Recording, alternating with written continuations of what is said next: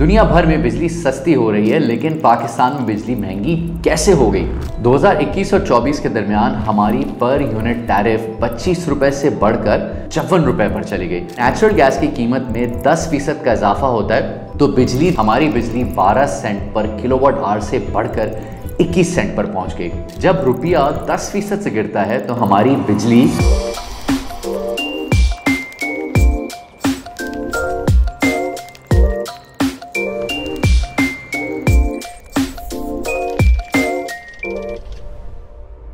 welcome to Pakistan and counting میرا نام جنید اقبال ہے and thank you for watching our energy series India کے مقابلے میں پاکستان کی بجلی ڈھائی گنا اور بنگلہ دیش کے مقابلے میں ساڑھے تین گنا مہنگی ہے۔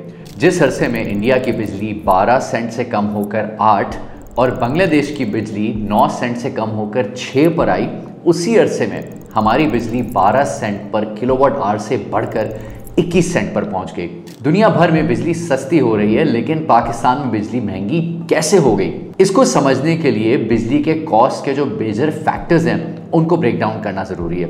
بجلی کی کاسٹ میں پانچ میجر کمپوننٹس ہوتے ہیں۔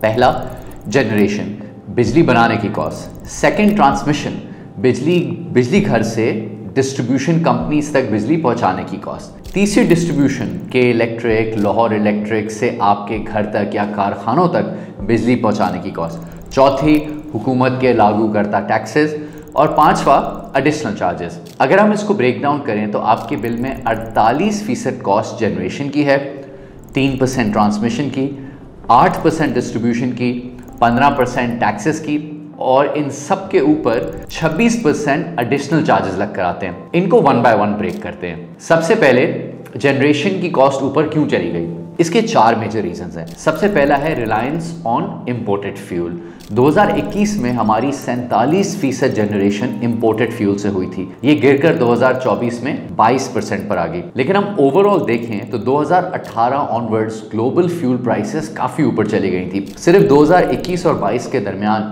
آئل کی قیمت میں پچاسی فیصد کا اضافہ ہوا تھا کول کی قیمت میں دو سو فیصد کا اور نیچرل گیس کی قیمت میں تین سو فیصد کا اضافہ ہوا تھا۔ اب قیمتیں کچھ سٹیبلائز ہو گئی۔ ہیں، لیکن پوری طرح ریکوری ابھی بھی نہیں ہوئی۔ اگر نیچرل گیس کی قیمت میں دس فیصد کا اضافہ ہوتا ہے تو بجلی دو فیصد سے مہنگی ہو جاتی ہے۔ دو ہزار اکیس اور چوبیس کے درمیان ہماری پر یونٹ ٹیرف پچیس روپے سے بڑھ کر چون روپے پر چلی گئی۔ اس میں صرف فیول کی پرائسز کی وجہ سے جو انکریز ہے، وہ دو روپے دس پیسے کا ہے۔ جب بھی گلوبل فیول پرائسز بڑھیں گی، ہماری بجلی کا بل اوپر چلے جائے گا۔ سیکنڈلی ہر جگہ کی طرح ہمارے بھی پاور کانٹریکٹس ڈالر میں کیے جاتے ہیں۔ دو ہزار اٹھارہ میں ڈالر ایک سو نو روپے کا تھا، جو آج دو سو اسی روپے کا ہو گیا۔ جب روپیہ دس فیصد سے گرتا ہے تو ہماری بجلی چھ فیصد سے مہنگی ہو جاتی ہے۔ یعنی دو ہزار اکیس سے چوبیس کے درمیان جو یونٹ پرائس میں پچیس سے چون روپے تک کا جمپ ہوا ہے، اس میں سے چودہ روپے صرف روپے کی کمزور ہونے کی وجہ سے ایڈ ہوئے ہیں۔ تیسرا فیکٹرز انٹرسٹ ریٹ کا ہے۔ جب پاور پلانٹس لگائے جاتے ہیں تو ان کی اسی فیصد فائنینسنگ لون سے ہوتی ہے اور یہ لون مینلی انٹرنیشنل مارکیٹ سے لیے جاتے ہیں۔ تو مارچ دو ہزار دو میں فیڈ کا ریٹ جو بتاتا ہے کہ یو ایس کا ڈالر کا بورنگ ریٹ کیا ہے، تو مارچ دو ہزار بائیس میں فیڈ کا ریٹ ہاف اے پرسینٹ پہ تھا، جو جولائی دو ہزار تیئیس میں فائیو پوائنٹ فائیو پرسینٹ پر چلا گیا۔ اس سے ہماری کاسٹ آف سروسنگ ڈیٹ آسمان پر چڑھ گئی۔ تو جب بھی فیڈ کا ریٹ ایک فیصد سے بڑھتا ہے، ہماری انرجی کی کاسٹ تین فیصد سے بڑھ جاتی ہے۔ تو پچیس سے چون روپے کے اضافے میں تقریباً ساڑھے چار روپے کا اضافہ صرف انٹرسٹ ریٹس بڑھنے کی وجہ سے ہے۔ تو جنریشن کاسٹ بڑھنے کی چوتھی وجہ جو ہے وہ ہے ایکسیس کیپیسٹی نا پاکستان کی ٹوٹل جنریشن کیپیسٹی چھیالیس ہزار میگا واٹ ہے. چاہے ہم اسے استعمال کریں یا نہ کریں، ہمیں ہر سال two point one trillion rupees کی کیپیسٹی پیمنٹ دینی پڑتی ہے۔ ٹو گیو یو کانٹیکس ہمارا پورا جو ایجوکیشن بجٹ ہے، وہ ون پوائنٹ ون ٹریلین ہے۔ So two point one trillion آپ سمجھ لیں، اس کا ڈبل ہو گیا۔ تو اب ہماری پیک جو سمر ڈیمانڈ ہے، وہ چونتیس ہزار میگا واٹ کی ہے۔ اور ونٹر ڈیمانڈ سترہ ہزار میگا واٹ کی ہے۔ تو آن ایوریج پورے سال ہمارے پاس کم از کم تیئیس ہزار میگا واٹ کی کیپیسٹی ہوتی ہے، جس کو ہم استعمال نہیں کر رہے ہوتے اب اس ایکسس کیپیسٹی پہ ہمیں پانچ سو پچاس ارب روپے کی پیمنٹ دینی پڑتی ہے، جو اور پر یونٹ بیسس تقریباً ساڑھے پانچ روپے بنتی ہے۔ And to sum up generation cost imported fuel گرتا ہوا روپیہ اور بڑھتے ہوئے انٹرسٹ ریٹس اور ایکسس کیپیسٹی کی وجہ سے ہماری جنریشن کاسٹ اوپر چلی گئی۔ اب آتے ہیں ٹرانسمیشن کی طرف، جس میں تین میجر فیکٹرز ہیں۔ پہلے تو ٹرانسمیشن انفراسٹرکچر پرانا ہے، جس کی وجہ سے تقریباً ڈھائی فیصد ٹرانسمیشن لاس ہوتا ہے، جس کی وجہ سے آپ کے بل میں تقریباً تیس پیسے ایڈ ہوتے ہیں۔ سیکنڈلی ٹرانسمیشن کا انفراسٹرکچر انکمپلیٹ ہے۔ ہماری ساؤتھ میں بجلی بنانے کی جو پر یونٹ کاسٹ ہے، وہ سولہ روپے کی ہے اور نارتھ میں پینتیس روپے کی۔ اور ہماری کنزمپشن نارتھ میں ستتر فیصد ہے اور ساؤتھ میں تیئیس فیصد۔ لیکن ہم ساؤتھ کی بجلی پوری طرح نارتھ پہنچا ہی نہیں پا رہے۔ مثال کے طور پہ ہمارے جو موسٹ ایفیشینٹ پلانٹس ہیں، تھر کولڈ کا چوبیس سو میگا واٹ کا پلانٹ ہے، یا پھر گھارو اور جھمپیر میں جو ہمارا ونڈ کوریڈور ہے، جس میں ہمارے تقریباً ساڑھے اٹھارہ سو میگا واٹس لگے ہوئے ہیں۔ ہم اس کی کیپیسٹی پیمنٹ تو پوری کر رہے ہیں، لیکن ٹرانسمیشن کمپلیٹ نہ ہونے کی وجہ سے ہم اس کی مشکل سے پچہتر فیصد بجلی نیشنل گرڈ میں پہنچا پا رہے ہیں۔ اگر ساؤتھ سے نارتھ پوری بجلی پہنچے تو ہمارے بل میں سیدھا سیدھا دو روپے پر یونٹ کی کمی ہو سکتی ہے۔ تیسرا فیکٹر یہ ہے کہ تقریباً بیس سے تیس فیصد پاکستانیوں کے پاس آج بھی بجلی پہنچ ہی نہیں رہی کیونکہ ٹرانسمیشن انفراسٹرکچر ہی وہاں پر نہیں لگا ہوا۔ اگر تمام لوگ نیٹ ورک میں ہوں تو کیپیسٹی پیمنٹس بھی ڈیوائڈ ہو کر پر یونٹ بیسس پر کم ہو جائے گی۔ اب آتے ہیں ڈسٹریبیوشن کی طرف۔ پاکستان کے ٹوٹل ڈسٹریبیوشن لاسز پانچ سو نو ارب روپے کے ہیں۔ اس کی وجہ پرانی تاروں کی وجہ سے انرجی لاس بجلی کی چوری اور بلوں کی عدم ادائیگی ہے۔ On a Pakistan wide basis ہمارا ڈسٹریبیوشن لاس سولہ اشاریہ تین فیصد ہے۔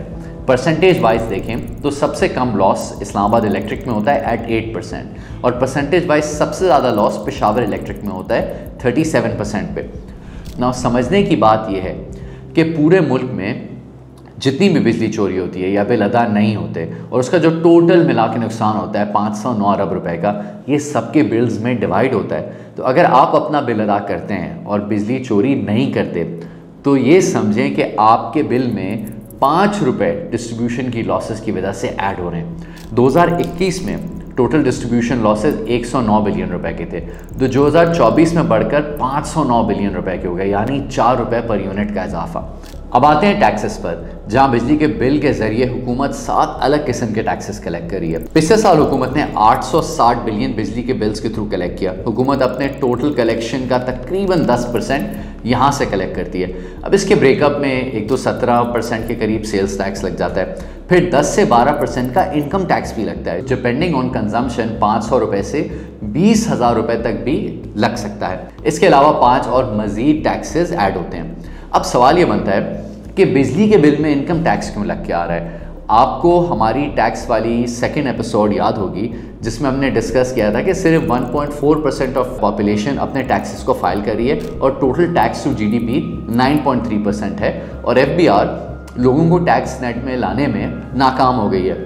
اس لیے بجائے ڈائریکٹلی ان سے انکم ٹیکس کلیکٹ کریں جو پے نہیں کرتے۔ مثال کے طور پہ پچھلے سال پورے ریٹیل سیکٹر نے صرف پندرہ ارب روپے کے قریب ٹیکس دیا اور پورے ایگریکلچر سیکٹر نے چار بلین کے قریب ٹیکس دیا۔ تو حکومت یہ ٹیکس کا بوجھ امیر اور غریب سب پر بلز کے ذریعے ڈیوائڈ کر کے لگا دیتی ہے۔ یہ ٹیکسز بل میں تقریباً آٹھ روپے پر یونٹ ایڈ کرتے ہیں۔ اور دو ہزار اکیس سے چوبیس کے درمیان بجلی کے بل سے ڈائریکٹ کلیکشن میں پانچ سو پندرہ روپے کا اضافہ ہوا ہے۔ یعنی کہ تقریباً پانچ روپے پر یونٹ کا اضافی ٹیکس آپ کے بل کے ذریعے کلیکٹ کیا جا رہا ہے۔ اب آتے ہیں اضافی چارجز پر، جو آپ کے بل کا چھبیس پرسنٹ حصہ ہے۔ پہلے تو آٹھ پرسنٹ سرچارج لگایا جاتا ہے۔ جب بل ادا نہیں ہوتے یا بل کی چوری ہوتی ہے تو حکومت کو پھر بھی پاور پلانٹس کو پیسے دینے پڑتے ہیں۔ لیکن حکومت کے پاس تو دینے کے لیے پیسے ہیں ہی نہیں۔ تو وہ یہ پیسے پاور کمپنیز سے اور انرجی سیکٹر کے باقی کمپنیوں سے ادھار کر لیتی ہے۔ اس کو سرکولر ڈیٹ کہتے ہیں۔ اب یہ ادھار یا سرکولر ڈیٹ جو ہے بڑھتے بڑھتے 2.6 ٹریلین روپیز کا ہو گیا۔ اور اس کا جو سالانہ سود جاتا ہے وہی تقریباً ڈیڑھ سو بلین کا ہو گیا۔ اور اس کی وجہ سے ڈیڑھ روپے پر یونٹ آپ کے بل میں اضافی سر چارج لگ کر آتا ہے۔ اور اس کے علاوہ اور بھی مزید سر چارجز ہیں۔ تو آپ خود اندازہ لگا سکتے ہیں کہ مہنگی بجلی مکمل طور پر پلاننگ اور ایڈمنسٹریشن کا فیلئر ہے۔ اور اس کی وجہ سے پورے ملک میں پچھلے سال بجلی کی ڈیمانڈ میں نو فیصد کی کمی آ گئی ہے۔ انڈسٹری اپنے خود کے لگائے ہوئے پلانٹ سے بجلی بنا رہی ہے اور گھریلو صارف جو افورڈ کر سکتے ہیں وہ سولر کی طرف موو کریں۔ اور جو جو یہ اچھے کسٹمرز جو پے بھی کرتے ہیں اور زیادہ کنزیوم بھی کرتے ہیں گرڈ سے موو کرتے جا رہے ہیں۔ اور گرڈ میں چوری کرنے والوں کی کسٹمرز کی شراب بڑھتی جا رہی ہے، تو زیادہ سے زیادہ کیپیسٹی چارجز ٹیکسز اور ٹی این ڈی لاسز پر بل بیسس پر ڈیوائڈ ہو کر آتے جا رہے ہیں۔ ایک طرف بجلی مہنگی ہوتی جا رہی ہے اور کنزمپشن اور اکنامک گروتھ گرتی جا رہی ہے۔ کوئی بھی ملک سستی بجلی کے بغیر ترقی نہیں کر سکتا۔ آنے والی ویڈیوز میں ہم جنریشن ٹرانسمیشن اور ڈسٹریبیوشن کے چیلنجز کو ڈیٹیل میں بریک ڈاؤن کریں گے۔ تھینک یو اینڈ خدا حافظ اور جاتے ہوئے ایک سوال، آپ کی نظر میں حکومت ایسے کون سے سٹیپس لے سکتی ہے جس کی وجہ سے بجلی کے بلوں میں کمی آ سکے؟ اپنا جواب کامنٹس میں ضرور دیجیے اور ہمارے چینل کو ضرور سبسکرائب کریں۔